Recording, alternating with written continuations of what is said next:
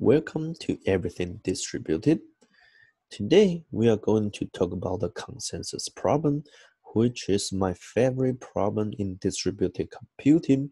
Basically, entire of uh, uh, my entire PhD thesis is about consensus. And last time we talked about model, and then typical model in consensus area is that we have n nodes, and up to f of them may fail, and they may suffer like crash or Byzantine failure. And we have a typical synchronous asynchronous system assumptions, and uh, we assume that the unicast is reliable. So we have a 5 channel, no message loss, and then the communication network is a complete graph, meaning that any pair of nodes they can communicate with each other. So the goal is to reach consensus. So what is consensus? If you remember from last time, we want to specify the correctness property, including both the safety and liveness. So if you check the dictionary, consensus or agreement, they are kind of um, have a very similar meaning. And then it goes like this. You have some entities and then they want to reach agreement. And then there's some of uh, based on their input. Okay so if you want to translate this into the formal kind of uh, uh, specification is that we have input what's input is your opinion and we have output because the uh, agreement is our output and obviously, we must have agreement, meaning that everybody has exactly the same output. Okay? And is that all? No, because that implicitly we mean uh, we think that okay, the consensus can eventually be solved or eventually we can reach agreement. So we have this termination property so roughly speaking, sorry, roughly speaking, agreement is a safety property. Termination is that something good eventually will happen. So we have this liveness property. So think about it right now for consensus. Is this all we need or is something is missing? And the answer is that base. If we only define agreement and termination, then we don't really interpret what base means. Okay. So there should be three properties for consensus. It's termination, agreement, and validity. So we have end nodes, inputs, uh, and termination is obvious. You eventually need to have an output. Agreement is everybody has the same output. And somehow you need to link the output based on the input. Okay. So you cannot just arbitrarily agree on something. So suppose everyone proposed zero, and then you say, no, no, no, everyone we should agree on one. So that's not typical how typically the consensus work, right? So we have termination, agreement, and validity, and then that's what we need to achieve of uh, for solving consensus problem. So there are many different forms of the validity property, and one of the most intuitive one is that if every node has the same input V, then every uh, the only possible output, the only reasonable output is V. And then the other one is called integrity, meaning that your output must be some input, must be uh, the input value proposed by some node. Okay. So if you think about it, like the very similar but there's a very slight difference, okay? So if your input assumed to be binary, meaning that it's either zero or one, then actually validity is equal to integrity. But if your input value can take that two or three or even more possible values, then they are not equal. So that's exercise for you. Try to figure out what's difference between the two. Then sometimes we also call integrity as a strong validity. So later on, we will see why that's the case. And there are many other forms, for example, let's say non-triviality is that we consider initial configuration. By initial configuration, we mean a different distribution of the input values. You can say that some of them lead to all zero or all one output. So uh, it's obviously different from the, the integrity thing we defined before. And we also have this notion of majorities and output must be at least the majority of the inputs. And and I just say that most of the consensus problem focus on either the validity or integrity. Okay. And now, before we go into detail, before I tell you how to solve this problem, we should ask the question, why is this important? What's the real application? And consensus is kind of one of the most fundamental primitive. And if you know how to solve consensus, you know how to solve any other kind of things in most of any other kind of things in the literature of distributed computing. Here I list some of them and yeah and here like even though like typically this problem is called reliable multi uh, reliable multicast but like because right now so many uh, people and so many different uh, so different uh, so many researchers from different fields are trying to work on like different kind of distributed uh, algorithms so sometimes the terminology is a bit confusing but here I define exactly what I mean. So that reliable total order multicast, meaning I send some message and everyone need to send exactly the same set of the updates, same set of message in the same ordering. And then I also have a failure detector, meaning that I can know exactly which machine has failed or not. And for leader election is that I need to elect a leader among us all, among all the nodes, and everybody knows about it. And I also have mutual exclusion, meaning that only one person, one node can be somehow elected or access certain part at a time. And, and that's very useful for managing that critical resource. Okay. And then the key here is that uh, if you know how to solve consensus, you can solve all of them and we will visit some of the, those other primitive there because there might be some more efficient applications uh, sorry more efficient implementation. And then if you kind of think deeper about this why is consensus so important? And then that's because that the fundamental challenge of distributed system is that you want to coordinate different set of nodes or even all the nodes so for example, multicast, you care about the ordering of messages.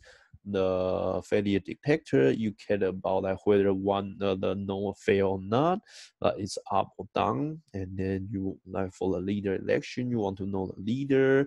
For the mutual exclusion, you want to know that who can access what. And all this require coordination. And then the most intuitive solution is consensus. And later on, we will visit the many interesting real world applications that rely on consensus. For example, distributed replicated storage. If you think about data center, our uh, data is stored inside data center, and then we need to use this kind of distributed database, distributed replicated storage to make sure our data can be stored safely and I still have some high performance. And then if you know something about Bitcoin blockchain, fundamentally they are solving consensus. And then for distributed robot in certain application, they also need to solve consensus. So it's a very exciting problem because it's so fundamental. Now let's think about what consensus is and how to solve it and why is it difficult. So now starting from the very simple case when no one will uh, crush when no one will fail. Then what do we do right now? We use voting. So it's like solving consensus as easy as one, two, three. First, you send your input to every other node because it's a synchronous system. So at a second step, I can receive all the message from everyone else. Then what do you do at the third one? Voting you take the majority of the message that you receive, then you say, this is my output. So far, so good. That's pretty easy. So what could go wrong if like something may fail? And then that's the challenge of dealing with a distributed system. As we see, as we have seen before, nothing is really reliable. Anything can fail. Now, suppose you just have three machines, and then it's a clique. Everyone can talk with each uh, everyone else. Suppose this machine, you only have one machine that may fail. This machine is able to send the message to the bottom machine, but I somehow at the process of the sending the second message to the other machine, boom, it crashed. So now the problem is that if you look at our simple algorithm, the R at the second step is different for the remaining machines at the bottom. So that, that when you do the output, they may output different things. And if you remember the correctness condition, we need to satisfy the condition for all the possible execution. So this solution is not fault tolerant. Okay. So now let's look at the simplest solution. Uh, the, the problem formulation is that we have crush and then the network or the system is synchronous. And one key observation we want to make is that it is sufficient if that every node that have not crushed yet will receive the same set of values. And then from that point on, it's easy to solve consensus because everybody has a consistent set of value. Everyone has a consistent view. So now the assume it's a clique, then the algorithm is very simple. Let me introduce you a, notion, a notation first. Values IR. So remember everybody proceed in a lockstep, and then this is run R. And then values I meaning that the set of input values that's collected or none to no I at the beginning of run R. Okay. So initially you only know your input, which is VI. So values I1 is equal to VI. Okay. And what do you do? You still need to exchange message. But like if you think about the previous example, you say that, okay, I only exchange message once is not enough, so I should do more times. Okay. And that's why that we just use that for loop and then the key here is that I need to run for f plus one times. And then I do a multicast of that what I have known, uh, what I have collected so far. By multicast is simply doing that unicast n times, okay?